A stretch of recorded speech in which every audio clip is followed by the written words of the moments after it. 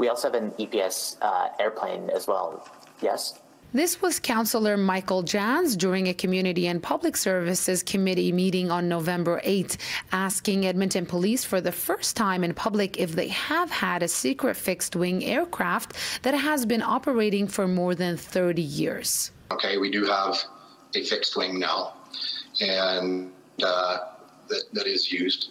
Uh, but yes, we're, we're just in the process of uh, procuring another plane how the city councilors for the last 30 years, why they didn't ask more questions. How many of them even knew about this? On December 15, City Council voted 8 to 5 to reduce 2022 police budget by nearly $11 million, with Councillor Janz voting in favor of the motion. Citizens and the community need much better transparency and oversight over every single tax dollar that's being spent on policing and safety in Edmonton.